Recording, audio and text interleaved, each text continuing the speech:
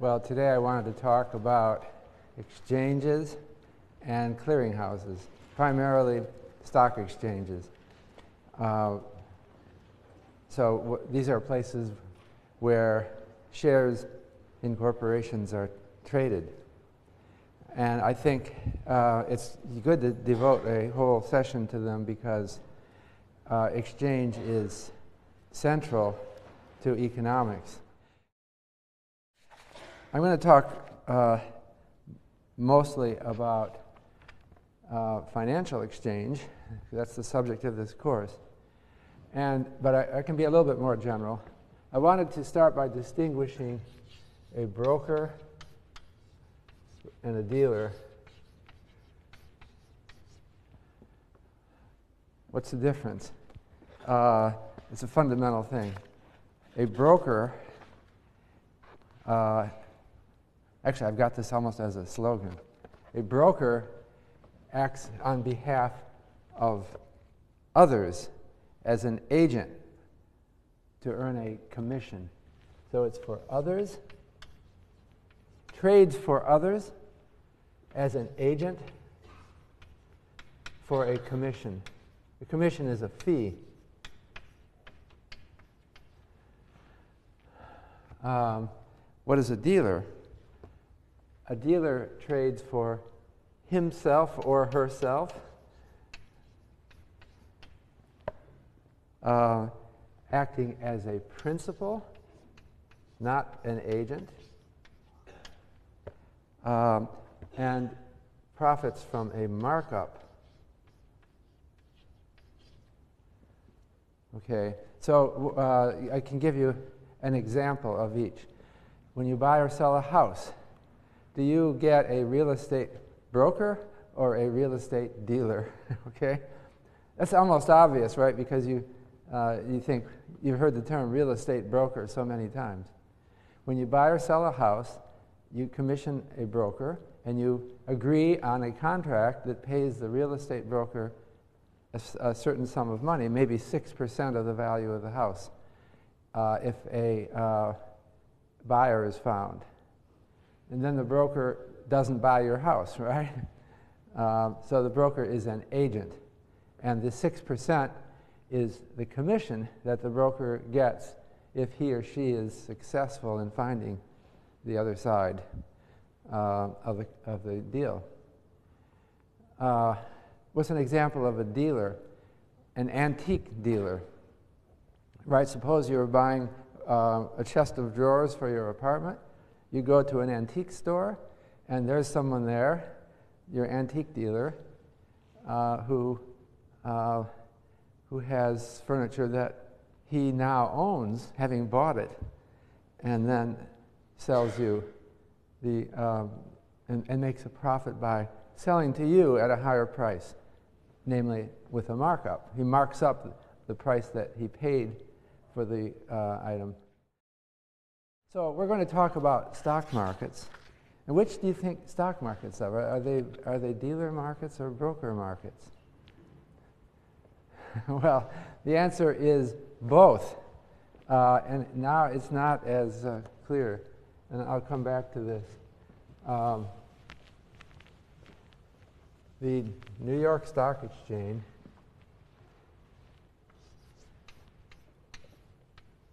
New York Stock Exchange in New York is a broker market, or they would say an auction market. It's a continuous double auction market where a broker facilitates the uh, trades. The NASDAQ market is a dealer market. So uh, uh, you pay commissions to your broker at the New York Stock Exchange, you pay a markup to your dealer at NASDAQ. Jonathan's Coffee House. I like that story.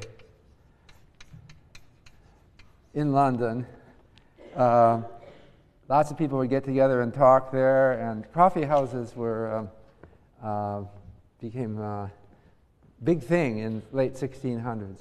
And somebody started posting stock prices on the wall, at Jonathan's Co- Coffee House by, uh, what was the date? 1698. And so the London Stock Exchange grew out of Jonathan's Coffee House. And then uh, moving forward in time, now we're going to get lots of countries, but I'll mention the New York Stock Exchange. Uh, the uh, traders of shares in the United States uh, met outside, outside uh, and in 1792 under a buttonwood tree. I'll put buttonwood, that's a curious name. I think that's just a, a common uh, tree that we still have around. Uh, and they signed the agreement to form the New York Stock Exchange. Uh, but um, then, uh, what else? Next in my little history, India by the 1850s. There were in um, Mumbai, or then called Bombay, uh, there were traders under a famous banyan tree. the same they're all outdoors uh, in uh, Bombay. These banyan trees are more impressive than buttonwood trees. Uh, but by, it was by uh, 18, 1875 uh, the Bombay Stock Exchange was founded. So that's the BSE. So that's been around for over 100 years. But things have happened more recently. And one thing that's been shaking things up, these are very venerable old institutions. What's been shaking things up is the advent of electronic trading. Uh, and uh, these were kind of old fashioned, venerable institutions. Do you know what happens at the New York Stock Exchange? What happened then and still happens today? There's a floor called a trading floor, and the various brokers meet there, just like in Jonathan's coffee house. They actually physically come to the floor and they stand around. And uh, there, are, there are posts for each stock. And if today you think you have a customer who wants to buy uh, IBM stock, then you go over to the IBM crowd, and there's a crowd of brokers there who are trading. And you just do it. you, verbally, you talk to them and you make a trade. Uh, that's really old fashioned. There is something more electronic and modern about the New York Stock Exchange, but that specialist post behavior still persists. Most of the world is switching over to electronic trading. And so things happen that um, so, for example, in India, they developed another stock exchange called the National Stock Exchange, uh, and that was um, in 1992. And the National Stock Exchange was all electronic, uh, and so it was the modern version. It's rapidly gaining on the uh, Bombay Stock Exchange. Uh, so, uh, let me go a little bit more forward. Uh, China, because of the communist government, did not have a stock exchange until 1990. And there were two stock exchanges founded in China in 1990 Shanghai and Shenzhen. And at least the Shanghai Stock Exchange is owned by the Chinese government. And that's why Laura Cha, when she talked to us about that, she, she was on the China Securities Regulatory Commission, which actually owned the Shanghai Stock Exchange. So uh, that, that's the, um, oh, Latin America. And just Sao Paulo, Stock Exchange 1890. Uh, Mexico has only one stock exchange, but it was founded in 1894. So we seem to have like two different kinds of exchange. We have the old exchanges that are at least 100 years old, and we have the new electronic exchanges. Uh, things have really sped up with the advent of electronic exchanges. So uh, I mentioned the New York Stock Exchange, which was started on the street, uh, outdoors, and is an old-fashioned exchange that uh, has been slow to update. But more recently, we have I mentioned it already, NASDAQ. The, that's the, uh, it stands for originally National Association of Securities Dealers Automatic Quotation System, uh, which was created in the 1970s. Uh, the interesting story about NASDAQ uh, in, in the 70s, the New York Stock Exchange was highly prestigious. It was the, the big board, the, the, the place. Uh, and a, a, critical element of a stock exchange is that in order to get your stocks traded on the exchange, you have to satisfy listing requirements. So the New York Stock Exchange would examine any corporation that wanted to be listed on the exchange, and it was the prestigious big exchange, so it had high standards. So the company had to have a history of earnings, it had to have uh, uh, uh, the right kind of management structure and board. A lot of things were checked out by the exchange. And uh, as a result, the way it would work in, in the 1970s, a startup company could never get traded on the New York Stock Exchange. It would be traded instead by brokers off exchange or over the counter. So OTC uh, means over the counter. That means not on an exchange. Uh, so in the 1970s and earlier, the uh, bro- over the counter brokers uh, would deal with each other informally with telephone call, or actually out on the street. Uh, they'd meet each other out on the sidewalk originally, and then they got telephones. Um, and they, they, they, had some record which they called pink sheets because uh, they were traditionally printed on pink paper. But these were lists of dealers buy and sell uh, quotes on prices of over the counter stocks. The National Association of Securities Dealers then was an organization of these over the counter traders. And in the early 70s, they set up the first computerized system. Uh, they decided that everyone's telephoning everybody. Let's create a, a system that, um, uh, that really works and that gets us, uh, gets us the information. Uh, and so that was the uh, NASDAQ system, uh, the first computer based system, which has now increasingly taken over much of the world. I shouldn't imply that New York Stock Exchange was entirely a laggard on this. Um, electronics played a role in stocks going back very early. The uh, New York Stock Exchange used telegraph in the 19th century to convey prices, and they invented ticker tape machines. A ticker tape machine is an electronic printer that would print out stock prices. Uh, and in fact, Thomas Edison, the inventor, his first invention was actually a ticker tape machine.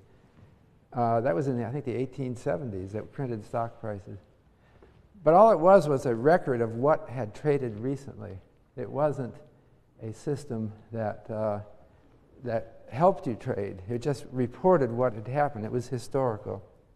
So I wanted to show you what NASDAQ created uh, in the 70s. And uh, it's it's a order book that would be visible to everyone who trades on it. Uh, so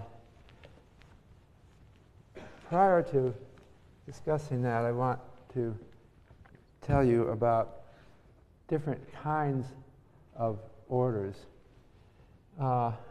If you buy and sell stock and you call up a broker and you say, I want to buy and sell, the simplest kind of order is a market order. And you would specify the quantity. You would say, I want to buy, and, the, and the name of the company, of course. I want to buy 100 shares of General Motors, or I want to sell 100 shares. But you don't name a price. You, you'll find out whatever the price was. The broker will get you the best price uh, will try, if, he's, if he or she is a good broker, will try to get you the best price. But uh, it'll still be uh, unknown to you because you didn't specify it. you might be unhappy with the price. The price might be too high, okay? And then the broker will say to you, Well, you know, if you're unhappy, you should have told me. Uh, you could have told me not to pay more than a certain amount for a buy or not to take less than a certain amount for a sell. So the, the alternative is a limit order. And so with a limit order, you give both quantity and price. So uh, if it's a buy, I want to buy so many shares, but I don't want to pay more than such and such a price. Then the, uh, the broker will keep that on his, uh, on his or her books until, uh, well, whatever the agreement between you and the broker is. It might expire after the day is over, or you could ask to have it kept on the book. And when the price becomes available, that's under that, which is no higher than your than your specified price, then the order will be executed. Otherwise, it won't be executed. And then for a sell order, it would be the same thing. You know, the, the, you specify both a quantity and a price, and the order will be filled or partly filled. You might not be able to get all of your quantity, but they'll fill as much as they can of it at a price, at that price or lower. Uh, and there's another kind of order called a stop order. Uh, with a stop order, you also specify quantity and price. but it's different. With a limit order, uh, you, you, would, you would, if you would buy, it, say it's a buy limit order. Well, let's talk about sell. If it's, a, if it's a sell limit order, you would sell the quantity at such and such a price or higher. With a stop order, you would sell that quantity at such and such a price or lower. Have to make that clear. A stop order, also called a stop loss order, is an order that you can place with the broker to indicate that I'm worried that this stock might really collapse and I don't want I'm holding it, you know, but I want you to sell it if the price starts falling a lot. So, uh, so suppose the price is 100 today, I could put a stop loss order at 80 and then at least I know I can't lose more than 20% of my investment because the broker will immediately sell it when the price of that stock falls below 80. There's also a buy stop order, and that would be something that someone would rationally do if that person had shorted a stock. So if you had shorted a stock and you were worried that the price would go up and ruin you, you can leave with your broker a buy stop order to sell it I mean, to buy the stock whenever the price exceeds a certain amount. And you would do that to prevent yourself from having unlimited losses on your short position. So those are the, there's other kinds of orders, but those are the main kinds of orders. So uh, now I wanted to talk particularly about limit orders. That's the most important kind. Uh, a lot of uh, advisors say never place a market order. Why should you ever do a market order? There's always some you know, price that you'd be unhappy with. You might as well say that. Uh, and so some exchanges don't even allow market orders. They, uh, uh, so let's talk about limit orders. And what I wanted to show you uh, was what a uh, NASDAQ level 2 customer sees. Um, NASDAQ is an organization, now it's, it's a firm traded on its own stock exchange, or it's called NASDAQ OMX. But if you want to subscribe to NASDAQ, it's very expensive, I understand. So you can subscribe at level one uh, or level two, which is more expensive.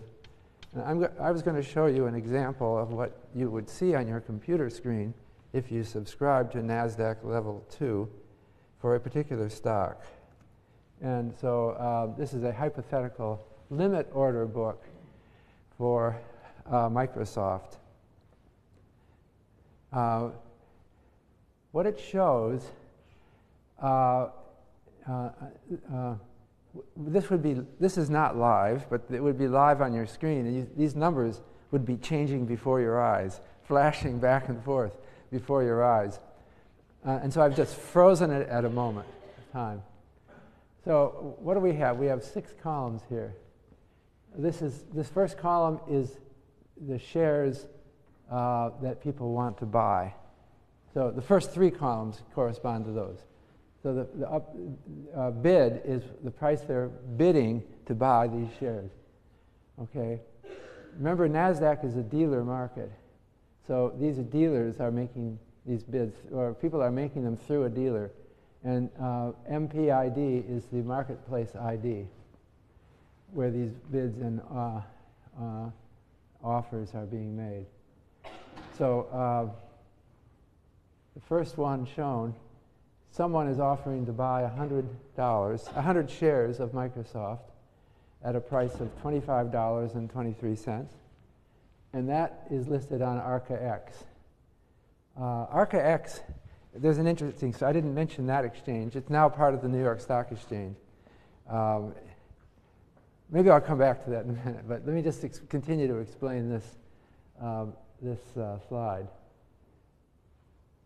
Now, you note that the bid prices are arranged in declining order, right? They go down as you move down. The computer has sorted all the orders. These, these are all the unfilled orders. Someone called their broker and said, I want to buy 100 shares, and the broker uh, entered the uh, bid through ARCX, ARCAX, uh, and it's now on the NASDAQ screen. Uh, someone else had a much bigger buy order, wants to buy 9,430 shares, uh, and this came in directly to NASDAQ, and, but it's a penny less, $25.22. And so you can just see what's going down. Now, the other side of this, is that clear what we're seeing here? The other side of the screen is the buy orders, and it's exactly the same, except that here the, the numbers go up as you move down the screen because the, the, the computer has sorted them in the reverse order. So that represents what various people are willing to buy. Uh, so somebody is willing to buy 2,400 shares at $25.24. Okay, and uh, somebody. Uh, well, actually, there's two different customers. this one placed the order first, so I think it, that's the priority. It's by the one who placed it first. Somebody else at the Cincinnati Exchange, I guess that's what that means, or offered to buy 8,200 shares at the very same price, uh, but it's listed as a separate order, and so on. So now you're sitting here looking at the screen now, and you notice that this ask price here is higher than the bid price there. So what does that mean to you? Um, it, uh, it means there's no trade, right? because somebody wants, someone is offering to sell at $25.24 and somebody's offering to buy at $25.23, it's no trade until somebody changes their price. Now, that's no surprise because these orders would be filled very quickly if there's a crossing. See, these two lines don't cross. So it's, it's like if you plotted these curves there's supply and demand curves, right? We could plot the amount uh, at various prices. Uh, well, I, you could see I'd have curves that, that a supply and demand curve that don't cross. Normally, we have a, they have to cross somewhere, and then there's a market clearing price. These, cars, these things normally don't cross because if they did cross, it would immediately disappear from the screen. Someone would finish the order and they'd sell. But you sitting at the screen uh, uh, now have a pretty good idea what the price is.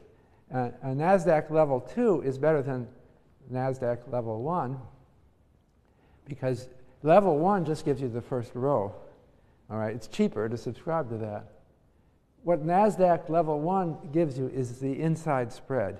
It would tell you that there is 100 shares trade, uh, bid at $25.23 and asked at $25.24. And if you want to hit that order, you could take either side of that. But it doesn't tell you the whole picture. Uh, if you know NASDAQ level two, you know a lot more about the market. And if you're going to play the game of trading, you want to know this.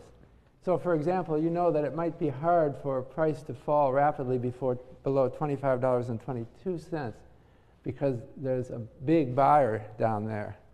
And so it's going to be hard for the price to fall below that. Uh, so if you saw the screen in real life, these numbers would be just blinking, changing rapidly before you.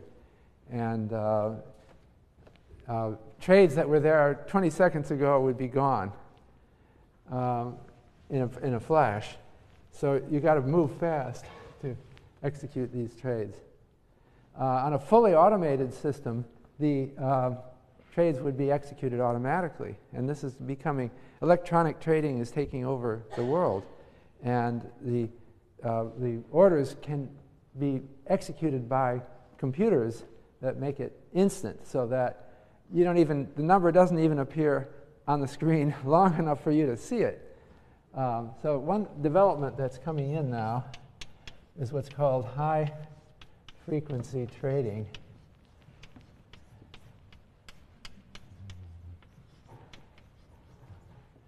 Or HFT, which is uh, trading that is done by computers.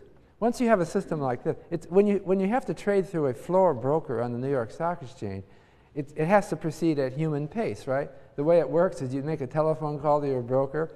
Your broker makes another telephone call to the representative on the floor of the New York Stock Exchange. That person walks over to the crowd and then discusses and indicates uh, what it's like a poker game. You know, you, you, you don't want to reveal your hand, but you kind of feel people out, and then after a little discussion, you reach a, a, a trade. Uh, but when you have something that you can hit on a computer, it just goes instantly. So people start programming trading, and that, that, that's been an important phenomenon because uh, you know you see these things moving faster than you can. These prices disappear and reappear so fast that um, you can't quite uh, know. You can't act fast enough. So we have algorithmic trading um, or um, program trading. And so that uh, goes back to uh, practically to the 1970s. Certainly by the uh, 80s, program trading was becoming a big and important um, phenomenon, and it's becoming increasingly important now. high frequency trading now uh, brokers will in, invoke what, what, are called millisecond strategies. You can actually flash uh, an order on some of the exchanges that lasts a thousandth of a second. You can put a buy order or a sell order and retract it in, in a millisecond. And that means you're, this would be a trading strategy which you might employ. You could do that to discourage people from trading. If you want to trade only with the computers, if you think I want to, I, I, people are too smart for me. I don't want to trade with people. I want to rip off the computers. Then you write a millisecond trading strategy, and then you, you, you can, you can sort into who, who, um, who trades with you. Uh, uh, now, the interesting thing about millisecond trading is that it's favoring the electronic exchanges. More and more, as time goes on, people are getting more and more sophisticated about about uh, high frequency trading. And so they want to trade on exchanges that are fully electronic so that they can play all of these games. And that means that the floor exchanges are dying out over most of the world. Um, by the way, the uh, New York Stock Exchange, uh, I was going to give you a history of it. Uh, the New York Stock Exchange has been slow to adapt to these technologies. Let me just give you a little history of electronic trading uh, is an exciting thing for uh, many people. Uh, but I think it started, or the, the really um, interesting electronics trading started with the ECNs, electronic com- communication networks, that were allowed by the Securities and Exchange Commission as alternatives to stock exchanges. Stock exchanges are highly regulated by governments around the world. But in the 1990s, uh, the Securities and Exchange Commission allowed more uh, sophisticated electronic trading, at least as an experiment. So they didn't call these uh, things exchanges, they called them ECNs. And one of the most important ECNs was a company called Archipelago. Another one was called Island. These were actually just websites where you could trade, and they were open to the public. They, they, they had a different culture, they had more of a web culture. The web culture is we're not going to charge you to see the order book. We'll just put it out to everybody, right? The web doesn't charge you for a lot of things. Uh, and so they became popular trading sites for the general public. They grew up the way the personal computer grew. So, New York Stock Exchange, when they first saw Archipelago, they said, oh, this is a bunch of college kids fooling around, some computer game, sort of. Uh, and they didn't take it seriously. But eventually, the New York Stock Exchange had to take it seriously because Archipelago was growing so fast. So eventually, New York Stock Exchange merged with Archipelago. Uh, and so uh, uh, they're now, uh, I think most of their trades go through ArcaEx. I'm not sure if that's right, but a large fraction of their trades go through ArcaEx. Uh, and uh, so uh, the um, so yeah, New York Stock Exchange bought, bought Archipelago in 2005, uh, and uh, at that time, uh, Arca, ArcaEx was breathing close on uh, New York Stock Exchange for trading volume. Uh, things are happening fast in the stock exchange because the technology is changing. Whereas we had the New York Stock Exchange in the old days, it was this single prestigious exchange that lasted for over 150 years without any substantive change. But now electronic trading is coming in and everything is being shaken up.